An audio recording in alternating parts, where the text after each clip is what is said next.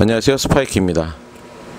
지금 녹음되는 파일은 보야 마이크를 이용한 녹음 파일입니다. 오늘 소개시켜 드릴 제품은 보야 BY M1DM 듀얼 무지향성 콘덴서 핀 마이크입니다. 스마트폰, DSLR, 미러리스 카메라 등 다양한 스마트 장비에 모두 사용이 가능하고 무지향성 콘덴서 마이크를 채용했으며 듀얼 마이크를 채용해서 인터뷰나 팟캐스트에 최적화된 제품이고요 뛰어난 감도와 신호대 잡음비가 좋고 핸들링 노이즈 유입 방지를 위해 foam 타입 핸드 죄송합니다. windscreen이 기본 제공되고